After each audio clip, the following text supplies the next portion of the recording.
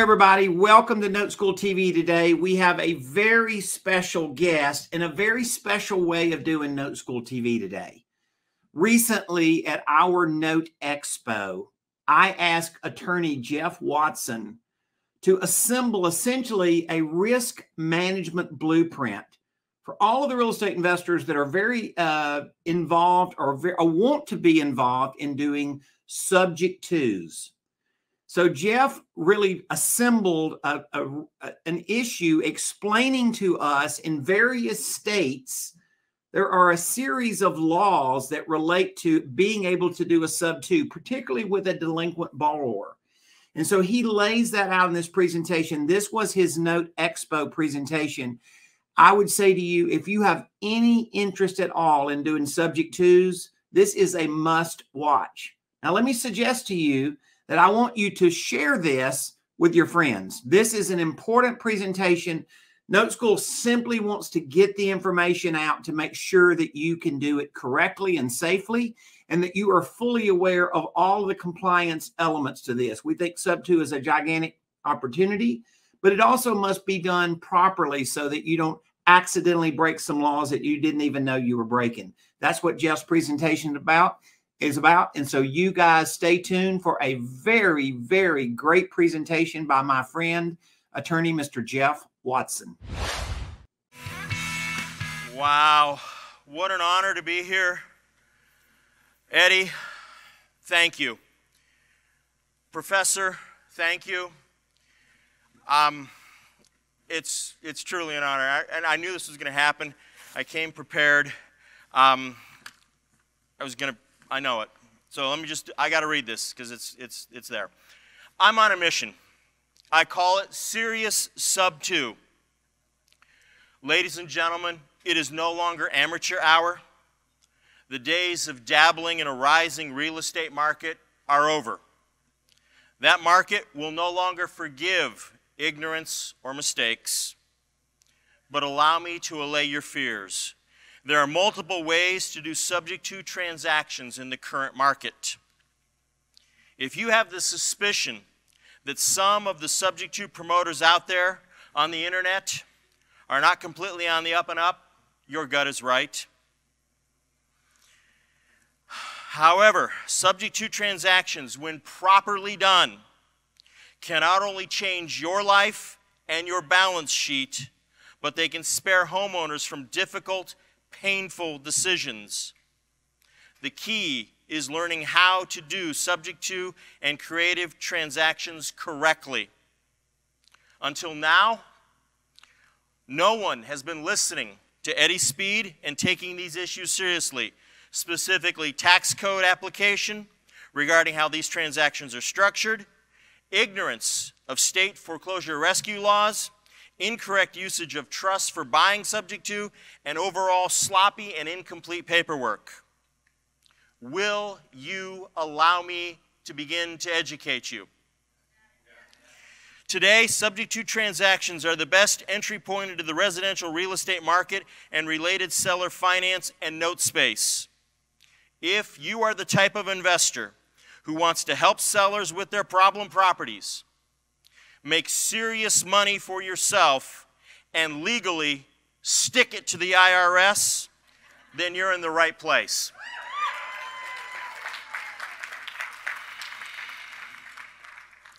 Some of you are looking at that title and you're going, Where's he going with this? And we'll get there. But I want to tell some of you who don't know who I am, and Ron, thank you for that, that kind introduction. Some of you don't know that I practice law now for 31 years in the state of Ohio, and I'm still trying to figure out how to do it right. I'm general counsel to RealFlow, National Real Estate Investors Association, Note School, which is our host here today, and National Wealth Builders out of Dayton, Ohio. I too have been a real estate investor for over 28 years. I'm a full time practicing attorney, primarily representing certain established real estate investment companies and self directed IRA clients. Some of my accomplishments changed the law in the state of Ohio five times four times through litigation, once through legislation.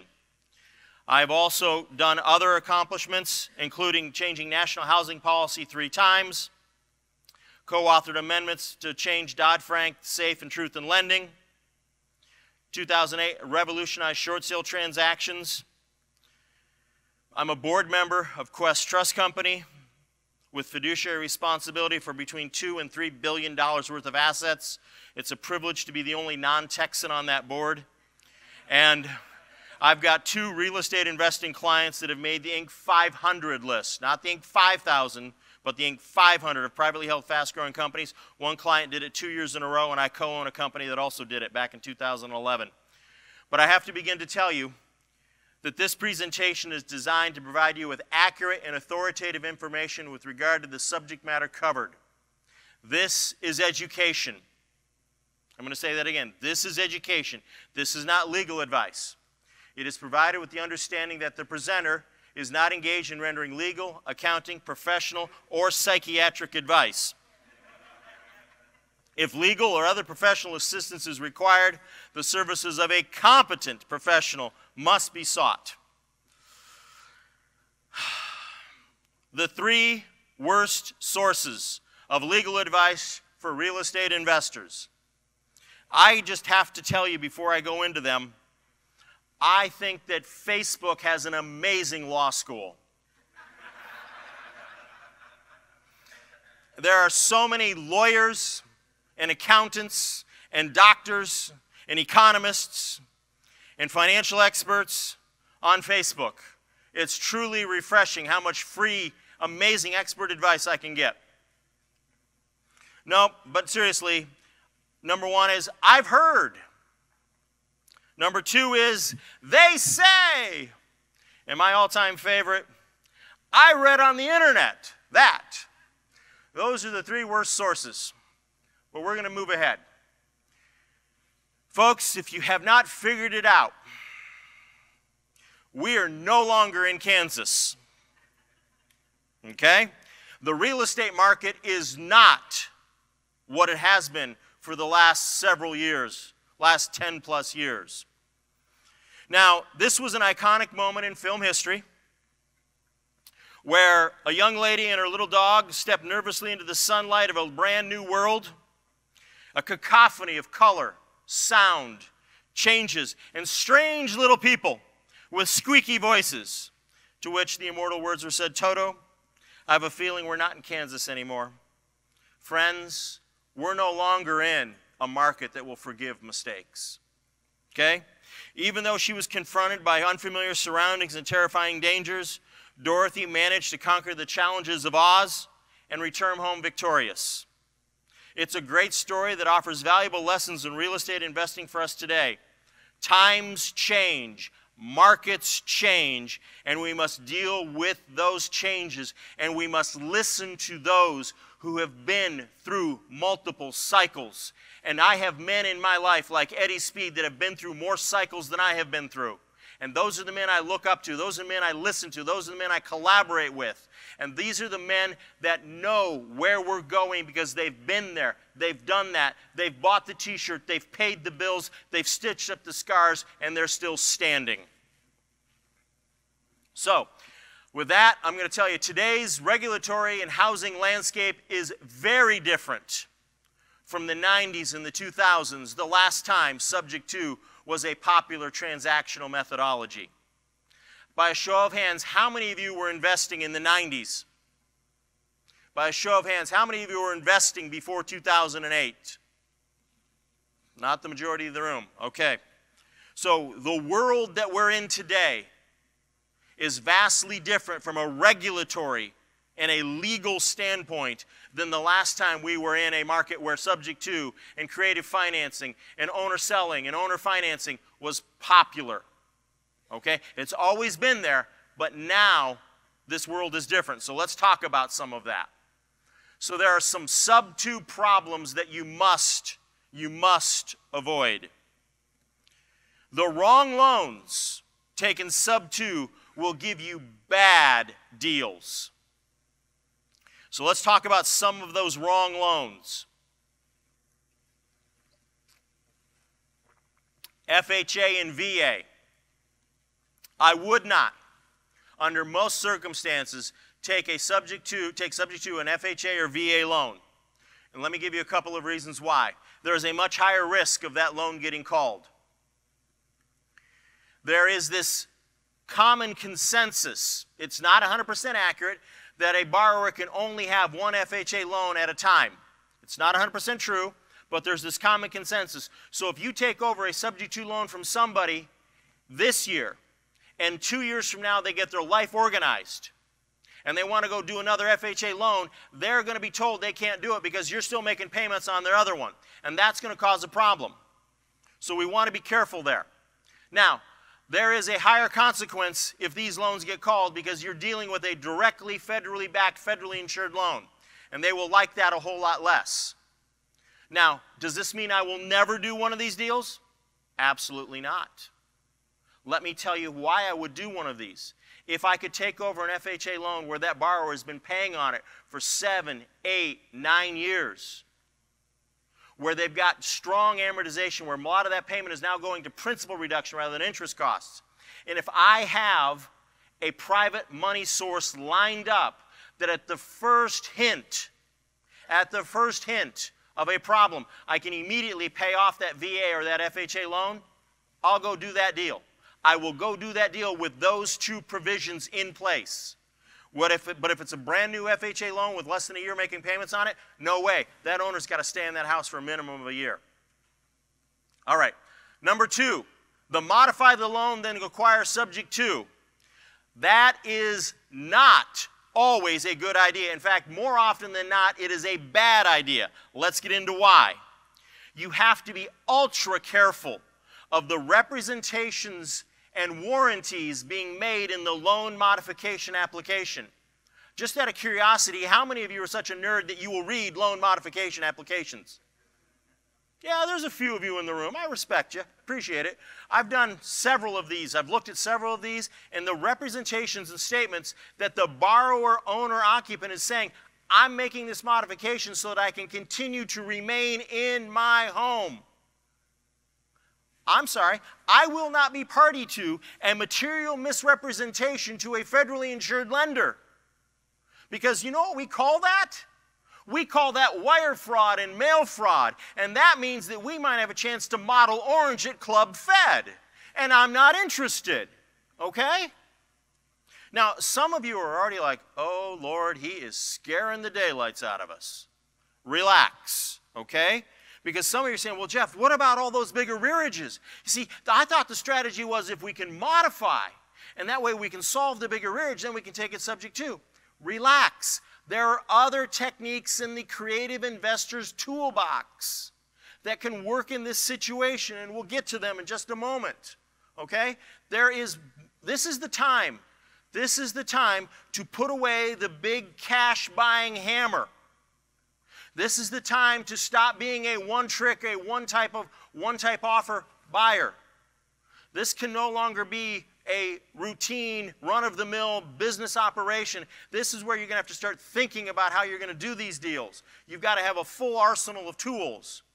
Okay? And now there's the great question is what about those bigger rearages? I'll answer that. I'll answer that.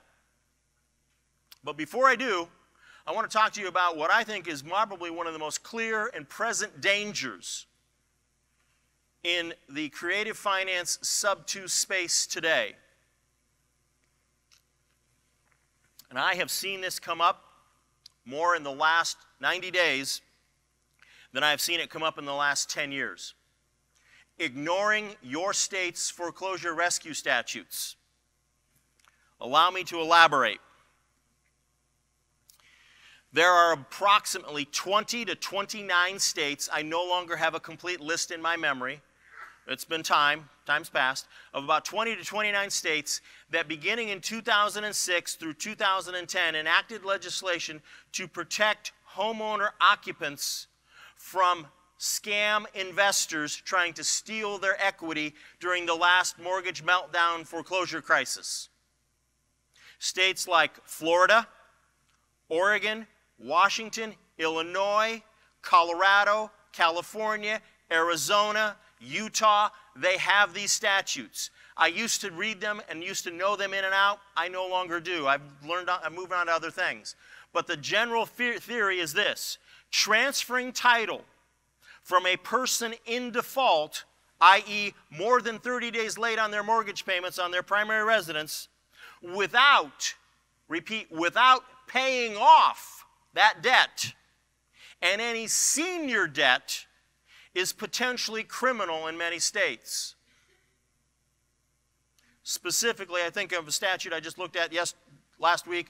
Colorado makes it very clear as to that. And Colorado statute is modeled after what is in Oregon, California, and in Washington state.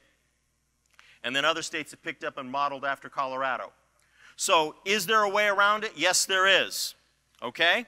And 20 or more of these states have these foreclosure rescue laws. So, what are we going to do about it? Well, the first thing that we're going to do is that when you're ready to do a deal, you're going to, in the privacy of your own home, in the comfort of your own office, you're going to, whether you're wearing fuzzy slippers or not, sit down, pull up your favorite browser and search engine.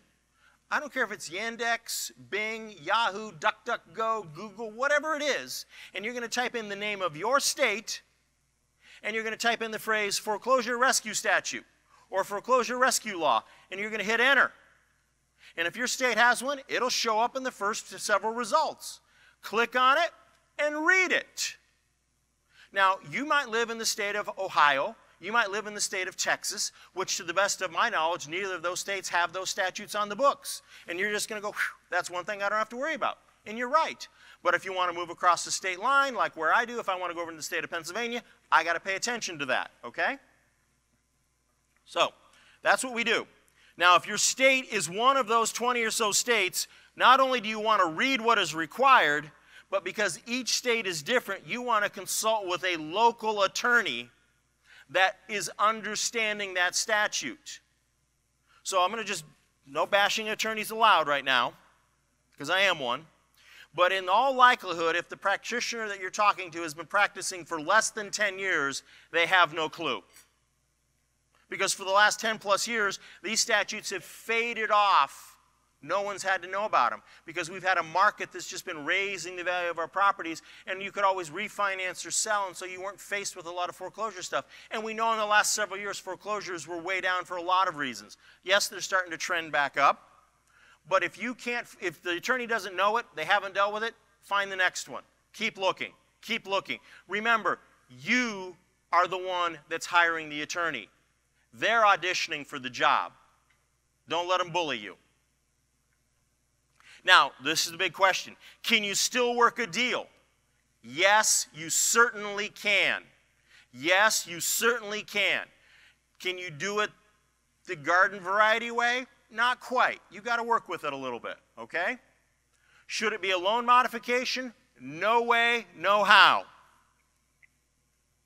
So, Let's explore your options.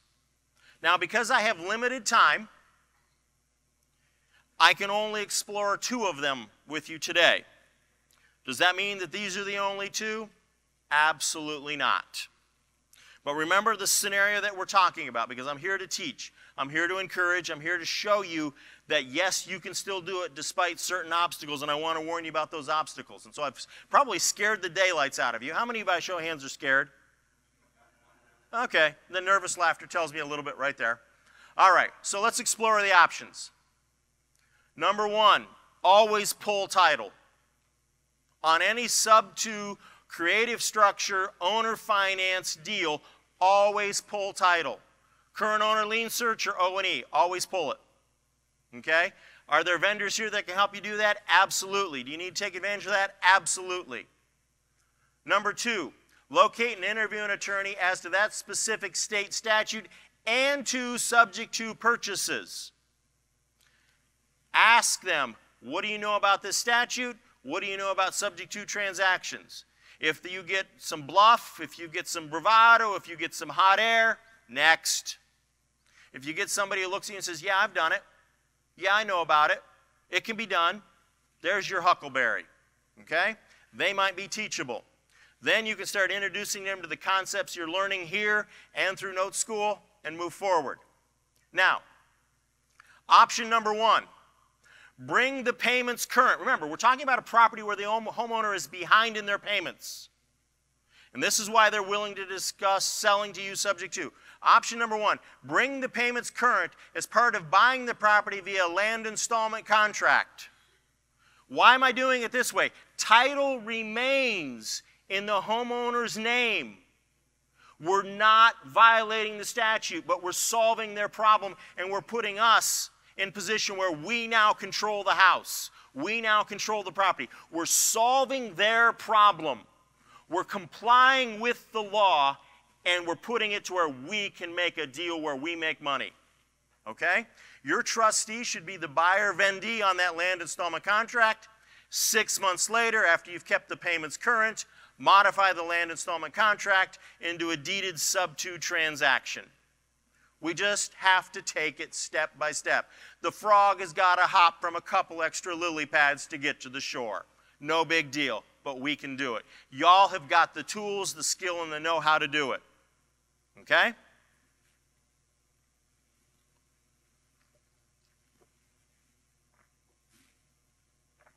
Option number two. This one might be my favorite. This one might be my favorite for a host of reasons.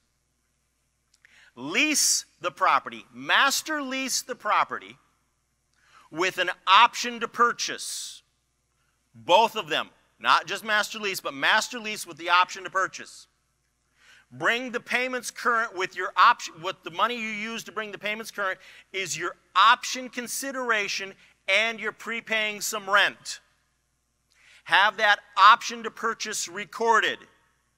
An original blue ink, wet ink, notarized option to purchase, get it recorded. And then maybe even record a mortgage or deed of trust to secure the option Put in that instrument the amount of money that you're paying to bring it current. Later on, you can then convert that lease option to a subject to. But what does it give you in the meantime? It gives you control. It gives you the right to put the house back out on the rental market. It gives you the right to test drive the house and see if you really like it. Because you got to remember, when we master lease a property with an option to buy, we're dating it. We're dating that house.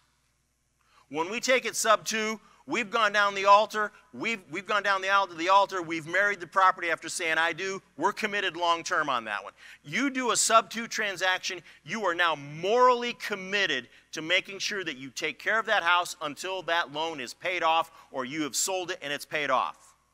But if we master lease it, we're dating it. Yes, we might even be engaged to it, but we're test driving it and we've got a chance to adjust and move forward. But there's one more subtle thing that we're doing with both the first option and the second option. And this is powerful. This is what I want you to understand. Remember what I said about where you structure deals, where you help the seller, you add to your balance sheet, and you legally stick it to the IRS?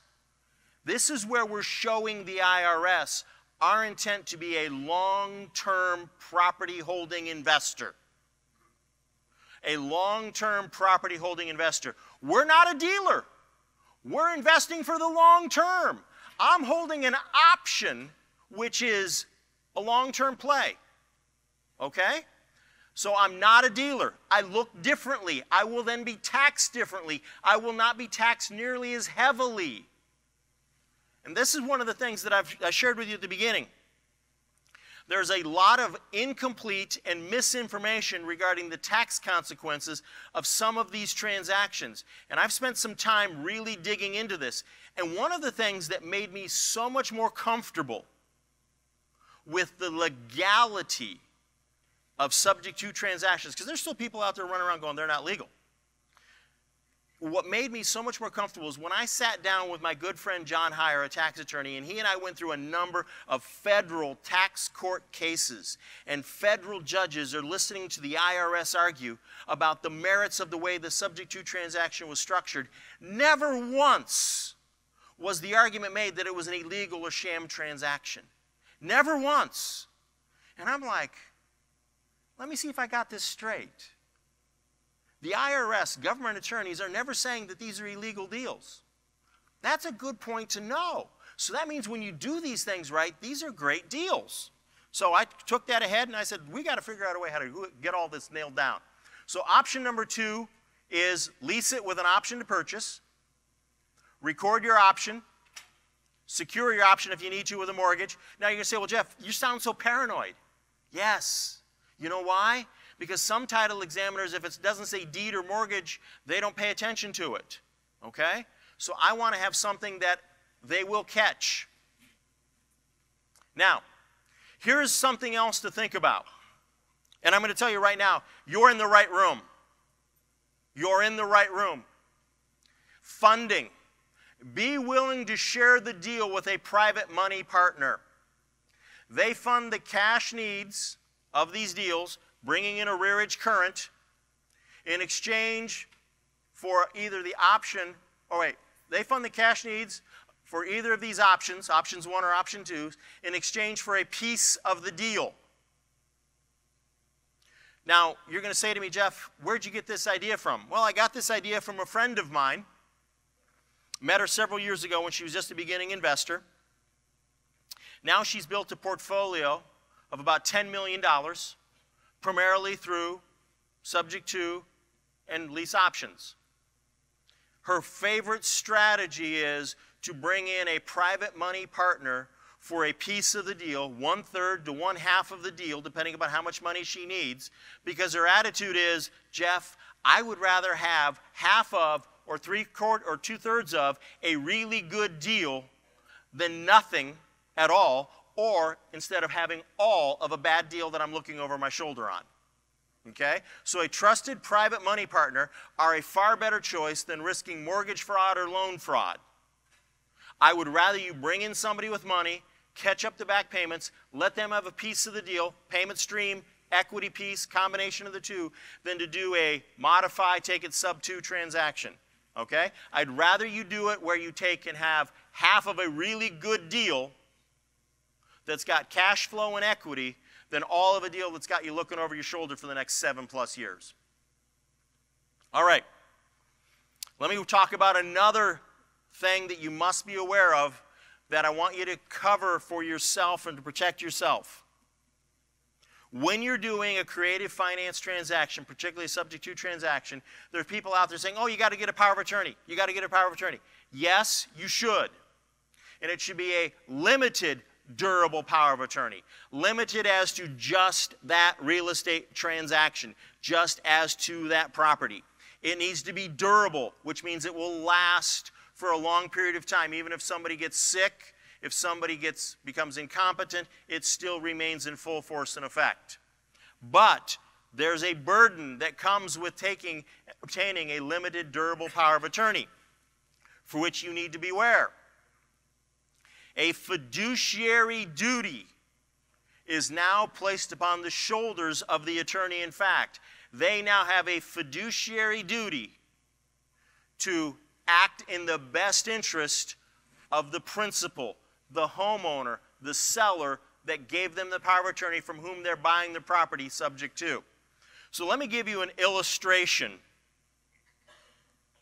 of the difference of what fiduciary duty means. And I think of it this way. In my hometown, there's two banks across the street from each other. So picture yourself, it's five minutes before closing time just before a holiday weekend, and you've got two deposits to make, one at each bank. One of the deposits is for your own personal account. The other deposit is for an account over which you have a fiduciary responsibility or fiduciary duty. And you know full well that you can't get them both done. Which one do you pick? The fiduciary duty one, of course. Now, what does that mean? Does that mean that you might bounce a check over the holiday weekend? Yeah. Does that mean that you may not have access to capital? Yeah. But did you do the right thing? Yes. That's what a fiduciary duty means. So, you've got to act for the benefit of the seller, homeowner, not for yourself. Now, the good news is this you can clearly act for the mutual joint benefit of both parties, yourself and the seller. As long as it's something that you've disclosed in writing that you're going to be doing and it's consistent with the powers and the duties that are in there. So, the most common example is I can use my limited durable power of attorney to go ahead and adjust the homeowner's insurance or the property and casualty insurance on that property. Because I'm doing this to protect the homeowner. Because if I don't make a change, they're going to be in trouble. Why? Because they had the property insured with a homeowner's policy, but they're no longer in the property. Therefore, there should not be any coverage, even though they keep making the premium payment. So I have to go and use that limited durable power of attorney to correct and adjust the insurance. Often, what I'll do is buy a brand new insurance policy where my trustee, as the buyer of the property, is the primary insured. The homeowner from whom I bought it is an additional insured. And the lender whose mortgage I'm taking subject to is listed as a loss payee. Now, I use the power of attorney to do that, and that's completely within the bounds of that power of attorney. That is the correct way to do it. Now, what I just covered there, you're probably going to want to take some notes on it. You should have taken some notes on it because that solves, I just told you how we take one of the issues that can be a problem and I always use it to solve one of the other two problems with the subject to because a lot of questions they get about subject to is, well, Jeff, what about insurance? I just covered it. But if you weren't taking notes, let me go back over it again for you, okay? So what we do is we use that limited durable power of attorney to go buy a new insurance policy. The trustee of my trust is the named insured because my trust is taking title through my trustee. The seller from whom I'm buying the property, they are listed as additional insureds with that magic language as their interest may appear, ATIMA and then I make sure that the lender from whom I'm taking the property subject to that debt is listed as a loss payee on that same policy.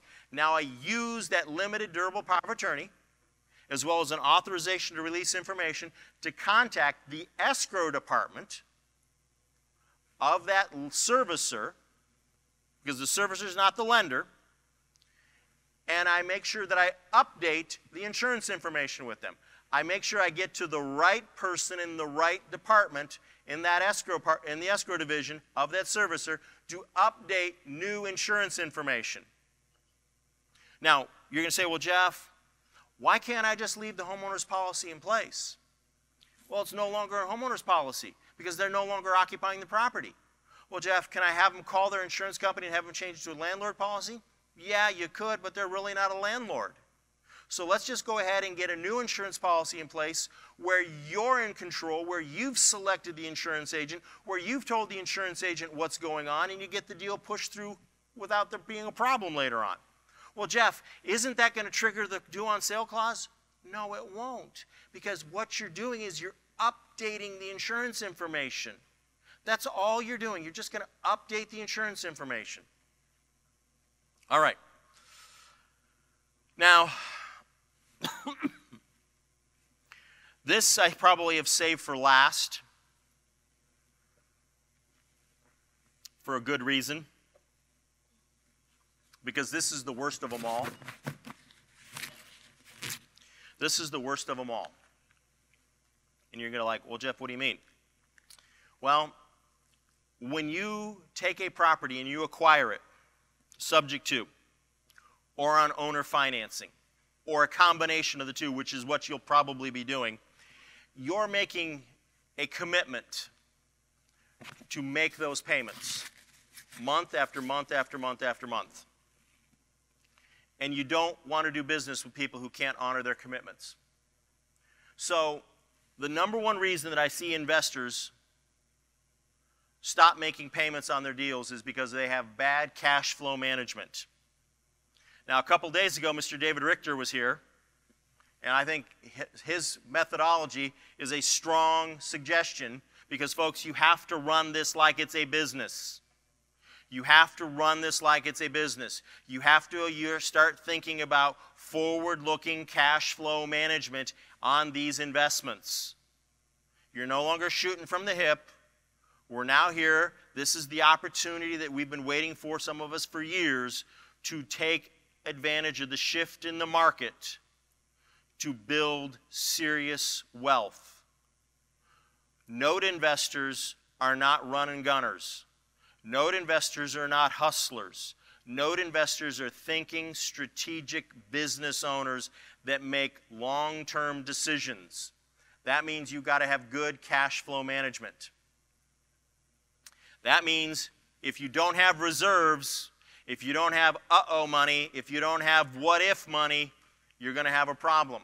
Now, when you go ahead and sell these properties to a penalty box buyer, set aside some of that large down payment money for reserves.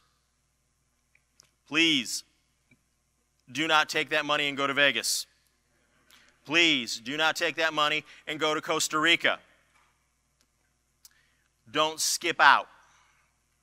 Have it there for the rainy day. Have it there for the what ifs, for the rut rows, as the dog in the, in the Jetsons would say. All right? Now, the one that has probably struck me the most is there are individuals out there, I've seen them in the past, advocate, well, I'll take the property subject to, I'll make a few payments, then I'm going to stop making payments because it's a strategic default. I'm going to try and negotiate a discounted payoff. That is criminal. Individuals who have done that have spent time at Club Fed, and they deserved to do it. Okay? Was not a good decision. If you take over a property subject to, you're committed to making those payments until that loan is paid off when you enter into a seller finance transaction and you put your name or your trustee puts their name or your company puts its name on a promissory note secured by a mortgage or a deed of trust as part of the seller financing because you've negotiated a great seller finance deal, you're committed to make those payments. Just like when you resell that property, that buyer's committed to make those payments to you. So now, let's move to the next one. Inadequate disclosures to the seller. It's been my experience that sometimes the seller in these situations develops life altering, life changing amnesia. And you're going to say, well, Jeff, that sounds funny and I want to laugh, and you should laugh, but sometimes it gets really serious. You see, when you meet them and they're in a really serious situation and you save them and you literally do them a service, that's great. But then after they get their act together, they maybe they get through that rocky marital relationship, maybe their employment situation changes, maybe their health improves, maybe they get sobriety, whatever it is. Sometimes then as their life changes, they forget just how much you did to help them out. And they now think that they remember hearing you say that, oh, I'll get that paid off in three years and it's been two and a half years and it's time for them, in their opinion, to go buy another house and they want you to pay it off. So, when you have inadequate disclosures to the seller, that can happen. So, my principle is this to be clear is to be kind. I want to communicate with great clarity when I talk to a seller. I want to not only be verbally clear, but clear in writing. And that means I will get it in writing, not just once, not just twice, but sometimes three and four times. So confused minds will often say, well, that's illegal. But a unconfused or a clear mind will understand what you're doing. Now, I'm going to tell you a story. True story. Happened to me several years ago, back um, when I began representing real estate investors local investor, friend of mine, did a subject to transaction, took the documents I gave him and provided to him, had the seller sign them. Everything was great until the seller developed amnesia about a year later. Seller went to a local attorney there in, the area where I live. Local attorney filed suit on behalf of the seller, going after my client. And um, said all these things that my client had promised. And it didn't start out too good because the lawyer that they hired knew the judge a whole lot better than I did. And so for the first couple rounds of filing paperwork and so on, I could tell I was getting set up to get homered. Now, how many of you know what homered is in the courtroom? Okay, that's not a good experience. I've had it happen and it's not cool.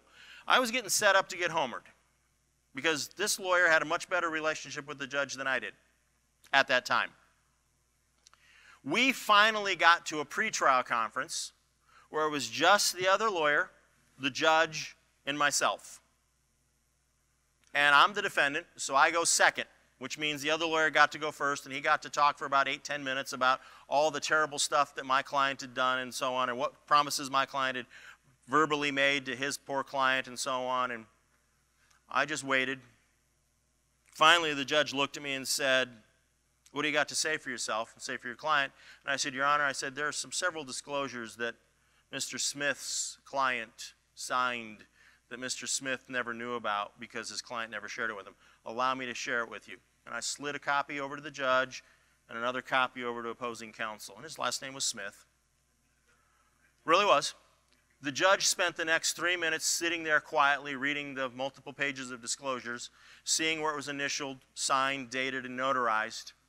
After he got through looking at it, he closed it up, looked over at the other attorney, and said, What the flip are we doing here? And he didn't say that particular word with an F. Got up, walked out. Case was over. Done. Next day, there's a dismissal notice in the mail. We're done. Now you're going to say, well, Jeff, that's a great story, and it's a true story. Uh, my client's first name is Frank, last name begins with a W. Was there in the Ashtabula County Court of Common Pleas. Judge Mackey is now retired. But it's a true story, and it's a story you need to remember because sellers will have amnesia. We therefore document everything in writing. Now, will all of them? No. Because you got, but remember this principle if not written, it didn't happen. Real estate is done in writing. Statute of frauds is abundantly clear. And so you need to make sure you've got it well documented and in writing. Now, I'm going to conclude with this. We're at a time in our country with this economy, with this shifting market, and this market's going to go on for a while. We're at a time where we can do one of two things. We can run to the sidelines and wait to see what happens, or we can move ahead convinced that we can do better and higher. Better and higher. And so, uh, what I want to share with you is I have a dream of real estate investors being willing to invest the time and energy into their education and knowledge to learn what the laws are that apply to the transactions that they contemplate on doing. I envision real estate investors being willing to do fewer, better, more profitable deals that enhance their communities, lower their stress, and make their lives more richly rewarded. I have a dream of real estate investors yeses being yes and noes being no, of people of integrity who do what they say they're going to do. I envision real estate investors being recognized as a benefit to their community rather than a source of friction or an object of scorn. I have a dream of real estate investors being praised and commended by their communities rather than being condemned as greedy opportunists. And I have a goal of elevating the standard by which real estate investors improve their communities. We're in a war, a war of ideas, a war of culture, and a war of words. If you have not been paying attention the last few years, real estate investors have been getting a bad rap, especially landlords. And when landlords are driven out of the market, everybody suffers. Everybody suffers. But when investors, whether they're landlords, whether they're buy and fix and resell, whether they're other types of individuals, and they all need paper. They all need notes. It all pins back to notes. It all pins back to the structuring of deals correctly and wisely. When that's done correctly, communities benefit. We don't have vacant, ugly, boarded up houses. Instead, we have houses where families live there. And my dream is for them to be able to afford to own it rather than just rent it because I want people to gain the benefits of home ownership. I want to see families break generational curses of long term poverty. I want to see them begin to build the wealth that economists talk about, where long term homeowners have 43 times greater wealth than long term renters. But the fundamental thing here is this is a situation where individuals, sometimes we'll call them mom and pop investors, they're the linchpin to making this happen. Not government programs, not big corporations, not major hedge funds, but individual investors that can relate to other people on an individual level. This is where you have the opportunity to do good for the community, have fun doing it, be proud of what you do, develop a legacy, and make a great living and build wealth doing it. And those are the things that I want you to do. Those are the tools I want to give you. And with that, I conclude and surrender back the balance of my time. And thank you so very much. Well, thank you, Mr. Watson. That was a great presentation. And let me say to all of you guys that are watching, I hope this is valuable to you. Let me encourage you again share this with your real estate investor friends. This was meant to be done in such a manner that we could spread the information. Uh, if Note School can help you in any given way, we want to make sure that you understand there's a number of ways to reach out to us. You can simply go to noteschool.com. Uh, you can go to, you can get some training information if you want to go to uh, Note School TV. Uh, and how to do that is essentially go to noteschool.com forward slash TV, or you can simply email us at info at noteschool.com any ways that we might be able to help you in this process, we would love to do so. We have a lot of people seeking information about Sub 2, and there's a lot of missing information seemingly out there that we're wanting to help uh, uh, fill in the gaps to make sure that people can do this correctly and safely. We're not discouraging Sub 2 in any way, shape, or form. We are encouraging it. We are just encouraging it that people do it in an informed manner. So I hope this was helpful you guys today. Thank you, Jeff Watson, for your incredible presentation, and we will see you next week on Note School TV.